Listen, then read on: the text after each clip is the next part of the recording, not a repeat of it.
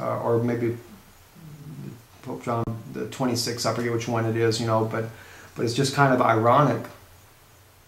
All these anniversaries and and and, and why, why not? Why don't we just go ahead and invite Rome right in? Do you not realize what Ezra was dealing with was we had married among the heathen the nations. And it was an abomination in the sight of God.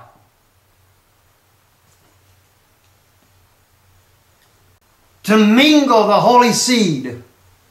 Why? Because the seed was to come through Israel. Israel was to provide that faith seed.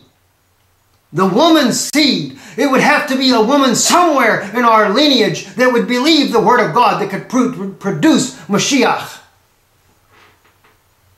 How can we say? Uh,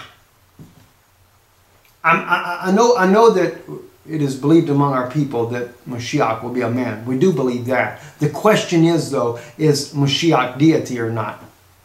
We're not going to get into that issue right now. What we are going to address is what we're doing and what we're doing wrong. We are back in our homeland according to the promise of God, where He said once again that both the house of Judah and the house of Israel will dwell again in safety, and they will be a city as if there were no walls. Paraphrased, of course. We are there. Ezra was back in Israel building the temple amongst all kind of violence all around him. We're doing the same thing, all kinds of problems around us. But the biggest problem we have is the fact that we married in amongst the daughters of the other land. It was an abomination.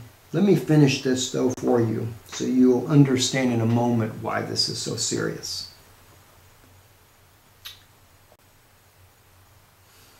Since the days of our fathers, we have been exceedingly guilty to this day, and for our iniquities, we are we, our kings and our priests, have been delivered into the hand of the kings of the lands, to the sword, to captivity, to plundering, and to utter shame, as it as it is this day, and that is true to even to this day. The Holocaust, the pogroms, this Inquisition. How much more do our people have to suffer? Before it's because of our own iniquities have driven us to this. But he did promise. Remember in Ezekiel chapter 36, he did not promise to return us because we were such a godly people. He promised to return us for his own name's sake.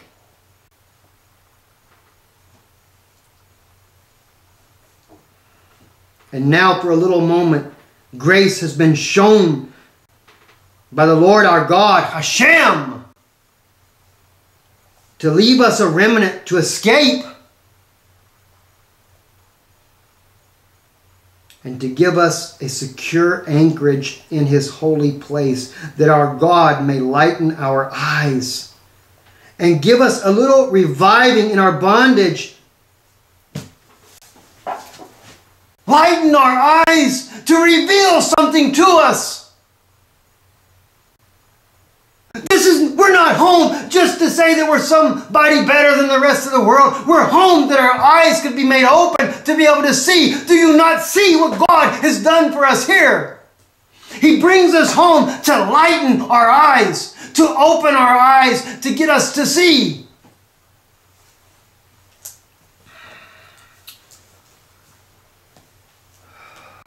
Baruch Hashem. He is so worthy to be praised. I mean, his worthiness is, is beyond anything that we could say in ourselves. Laha'ir Enenu. For a light to our eyes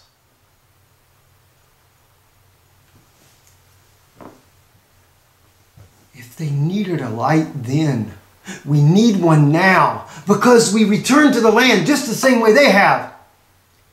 They return to the land and we find out that the priest, the Levites, And the rulers had married in to the women of the other lands. And, and, and my rabbi and my rabbinical brethren, you may be sitting now saying, Yes, that's right. We're, we're seeing our people, they're, they're, they're marrying amongst the Gentiles, and, and, and this is wrong. He's not just talking about that. This was a sign. This was foreshadowing what you're doing because it's beyond just the natural side of a woman. Israel has always been typed in the side of God as a woman, as a bride to Mashiach, a bride of Hashem.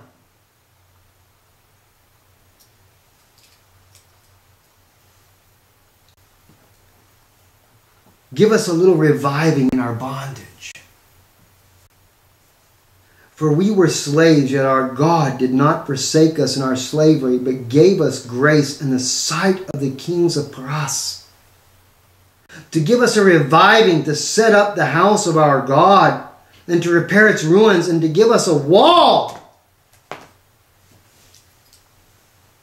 Does that not tell you that this passage of Ezra. He's not speaking of a time of 2,500 years ago. God was having Ezra to speak of today to give us a wall. And we have a wall in where Judah. In fact, that's all we have right now is a wall.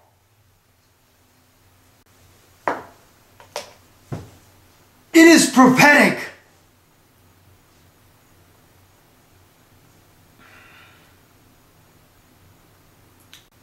فَدَمَنِيَ مَا אתכם בשם יש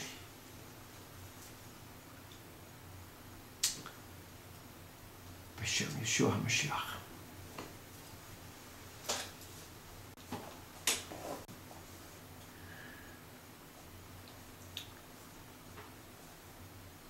to give us a reviving, to set up the house of our God, and to repair its ruins, and to give us a wall in Judah and in Jerusalem. It was prophetic. We call it the Wailing Wall. Now you might say, well, this wall wasn't there back then. But he's speaking of our day now. And now, our God, what shall we say after this? For we have forsaken thy commandments which thou hast commanded by the servants, the prophets, saying, The land into which you go to possess it is an unclean land. Though the uncleanliness of the peoples of the lands with their abominations, for they have filled it from one end to the other with their uncleanliness. Now therefore do not give your daughters to their sons, nor take their daughters to your sons, nor seek their peace or their welfare forever. You're trying to make peace with the other nations. And God has commanded you not to do it. You'll do it anyway. You're fixing to find out, though, what's going to be the answer to this. I know that we believe that God will send Eliyahu, Elijah, Hanavi, the prophet. He'll send Moshiach to deliver us. And unfortunately, we're going to have to say the same things that the Pharisees said 2,000 years ago when Yeshua was walking the shores of Galilee, at least his disciples, and some of those, you have to remember now, Paul, who was one of his disciples, was indeed a Pharisee. He is a direct descendant of the Orthodox Jews today. He is your own people. And he also wanted to be delivered from the Romans. And here we are inviting them right back in again. The same sin that was committed by our forefathers in the days of Ezra are being committed again today.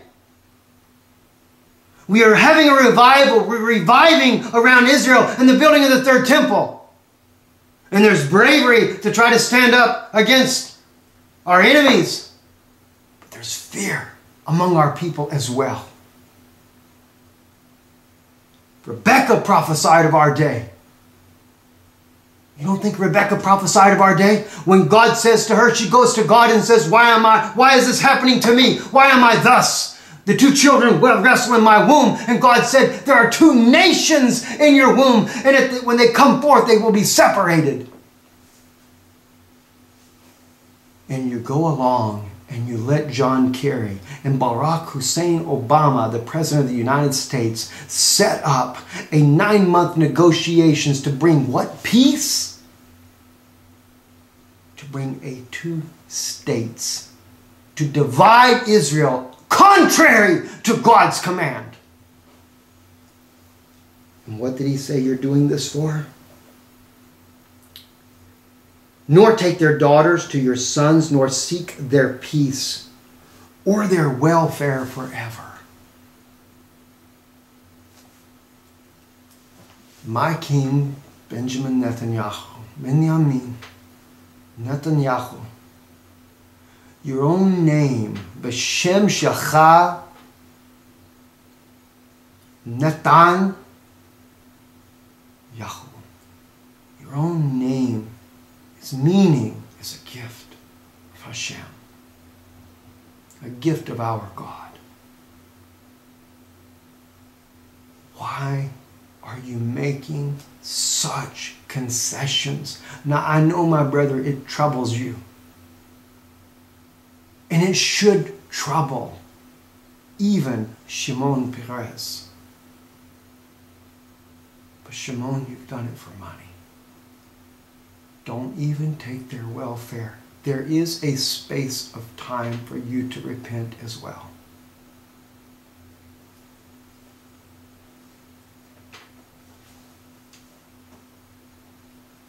And leave it for an inheritance to your children forever. That you, let me back up, that you may be strong, we're in verse 12 still, and eat the good of the land and leave it for an inheritance to your children forever and after all that which has come upon us for our evil deeds, and for great guilt, seeing that thou, uh, our God, has punished us less than our iniquities deserve, and has given us such deliverance as this, should we again break thy commandments and make marriages with the peoples of these abominations? Wouldst thou not be angry with us till thou wouldst consume us, so that there should be no remnant nor any to escape? O Lord God of Israel, thou art righteous, for we are left a remnant that is escaped as it is this day. Behold, we are before thee in our guiltiness, but we cannot stand before thee because of this.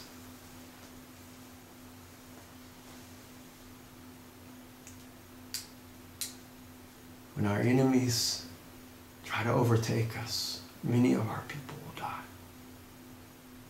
because of our iniquity. We must repent and we must put away, we must break this covenant that will soon be signed. At the end of this nine month negotiation, there will be a two state in Israel. It will break the very laws of God because of the marriages the abominations that God will not accept, the filthiness that we will allow at the hand of our politicians and the religious leaders of Israel that have gone and sat and dined with such filthiness as they have done with the Pope and the Vatican and his dignitaries. Now, something you need to know. I'm going to read to you from the Christian